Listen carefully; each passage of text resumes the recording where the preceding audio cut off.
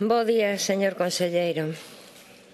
A verdade é que personalmente non esperaba outra cousa, pero bueno, sempre é decepcionante escoitar un, unha mensaxe continuista das políticas que se levaron hasta ahora por parte da Xunta de Galiza e que nos colocaron na situación na que estamos hoxe de desemprego, dunha débeda insoportable, e de unha situación social e económica realmente dramática. Perdeu vostede unha gran ocasión para anunciar un cambio de rumbo, un cambio de rumbo que finalice as políticas de recortes, que aposte por activar a economía productiva en troques do que se veu facendo ata agora e de acabar coa subida de impostos dedicada exclusivamente a pagar a débeda aos especuladores financeiros e manter nun paraíso fiscal as grandes fortunas e os oligopolios. Pero esperar que o Partido Popular rectifique é un exceso de optimismo Pensar que o Partido Popular pode rectificar as súas políticas austericidas en favor da cidadanía que os votou é unha fantasía. Da política fiscal e orzamentaria que practican, xa se ten falado de abondo neste, mm, neste pleno e nesta Cámara, con ocasión do debate dos orzamentos, Falamos sobre a fiscalidade regresiva que se está a aplicar, a contracción económica progresiva do país, a especial saña nos recortes dos servizos públicos e unha política económica ao servicio de especuladores e oligopolios. Unha política económica que, ademais de socialmente inxusta, serviu para favorecer os negocios das amistades peligrosas do presidente Núñez Feijóo como Marcial Dorado ou Pachilucas. O triste é comprobar que, como ocorreu no relevo da Consellería de Educación, a comparecencia limítase a un acto puramente protocolario de reafirmación e de anuncios electoralistas. Un plan de inspección ás grandes fortunas e ás grandes empresas hubiera estado moi ben que se incluíra como un dos obxectivos para a, para a súa consellería. Unha reforma fiscal que subise, inda que só fora un pouquiño, os tramos máis altos do IRPF. Unha reforma fiscal que revisase as escandalosas tasacións que se aplican nas transmisións patrimoniais máis as, máis as sentenzas que reiteradamente as declaran abusivas e nulas días. Seguindo co optimismo, tamén podería agardar que pusiesen a Xencia Tributaria de Galicia a loitar contra a corrupción, aínda que só fose seguindo as pistas que sinala o Consello de Contas no seu informe. Os propios técnicos da Xencia Tributaria din que non dispoñen de medios para perseguir a gran corrupción, que si sí teñen para perseguir os roubagaliñas, non? como se decía, pero non para os grandes corruptos e as grandes fraudes. Espero e desexo que toda esta actividade contra o fraude non se limite a perseguir como están facendo as persoas desempregadas que traballan e non declaran os exiguos, pouquiños, escasos, miserentos eh, beneficios que podan obter e que non lle dan nin para vivir prácticamente. Persiguen vostedes desempregados en vez de perseguir os grandes estafadores. Justificar a política privatizadora e austericida que se levou ata agora é o que viu a facer vostede hoxe aquí.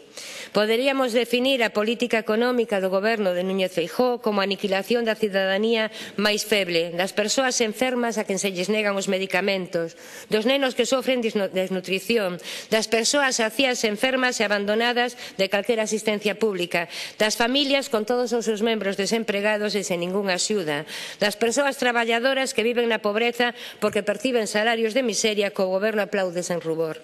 Traballadoras e traballadores pobres, que son inda por riba utilizaros para mellorar as estadísticas da recuperación que sobe o Partido Popular.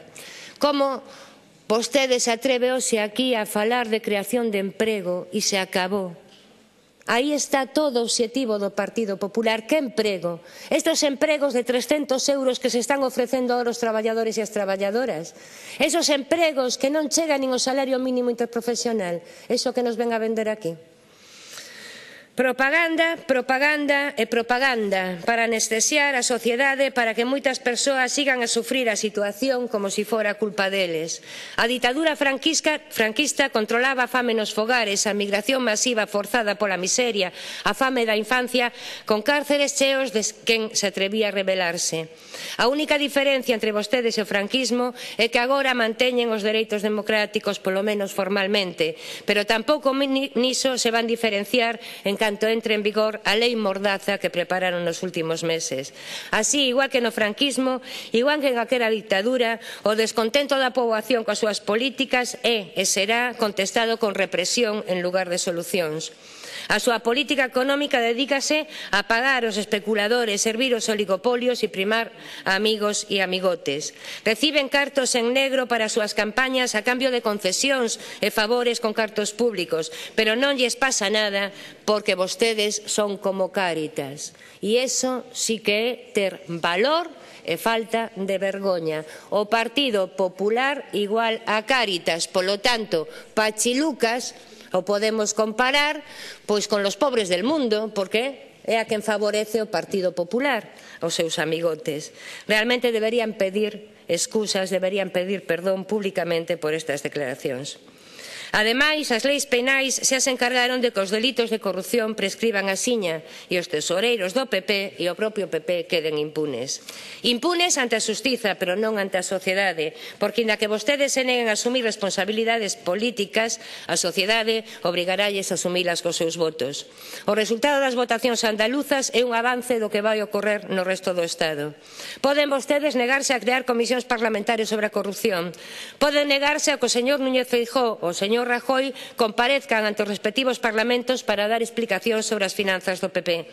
Poden reducir o número de deputados e diputadas nun intento desesperado de manter a maioría nas cámaras.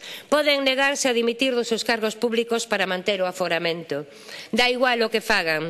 A cidadanía encargarase de votalos, con B, das institucións que levan ocupando demasiado tempo e que necesitan aire novo que traia novas formas de facer política baseadas na transparencia, o respeto á cidadanía, a democracia participativa e a honestidade.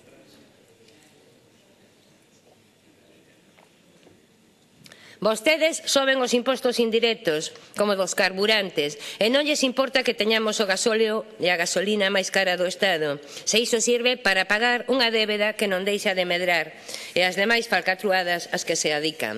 Vender a devolución dos impostos de hidrocarburo como un gran logro de verdade que debería, polo menos, non decilo, porque hai cousas que mellor non decilas a insistir como se si fora un gran éxito, cando hai unha serie de requisitos que precisamente a autónomos, os eh, empresarios de transporte mm, menos potentes, con menos capacidade, evidentemente non lles vai a beneficiar esta medida.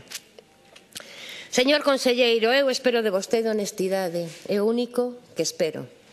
Espero que sexa suficientemente honesto como para explicarlle á cidadanía por que dende que goberna o señor Núñez a débeda aumentou dos 3.922 millóns aos 10.000 millóns que números redondos temos hoxe. Tamén podería explicarlle á cidadanía por que coa súa política fiscal seguen a aumentar a concentración da riqueza nas mans duns poucos, aumentando a desigualdade, a desigualdade deixando a maioría da cidadanía cada vez con menos recursos e con menos posibilidades de consumir. É a liquidación precarización da clase media, é a exclusión social de cada día máis e máis persoas, é a liquidación encuberta ou explícita dos servizos públicos para beneficio privado, é a política suicida a que nos levou o señor Núñez Feijó. a ter cada vez menos actividade económica, menos recursos e máis débeda, pero tanto lles ten. E non van a mudar a súa política porque esta é a política que queren facer. Vostedes seguen a senda dos gobernos latinoamericanos dos anos 80 e 90 que remataron por quedar case sen Estado. Vostedes representan só sufrimiento. Onde a cidadanía común percibe, percibe mafia, vostedes perciben a Cáritas. Iso sí, anuncian constantemente medidas maquillaxes contra a corrupción, pero deixan intactas as tramas que trafican coa formación e ademais presumindo de que vostedes denunciaron Operación Z cando é totalmente mentira. Se realmente quixeran mudar algo, anunciarían un plan de inspección das grandes fortunas, anunciarían medios para a xencia tributaria e a absoluta independencia dos técnicos. Anunciarían unha reforma fiscal que subise os tramos máis altos do IRPF. Anunciarían que van a revisar as escandalosas tasacións que se están a aplicar nas transmisións patrimoniais. Anunciaría medidas novedosas para mellorar a demografía que vaya máis alá das desgravacións fiscais. Anunciaría medidas contra a fraude na contratación laboral que están sendo unha gran carga un, ou un gran impago de impostos na nosa nosa comunidade. En fin, lamento moitísimo a súa visión continuista e propagandística da política económica de Galicia. Nada máis, moitas gracias. Gracias, señora Martínez. Grupo Parlamentario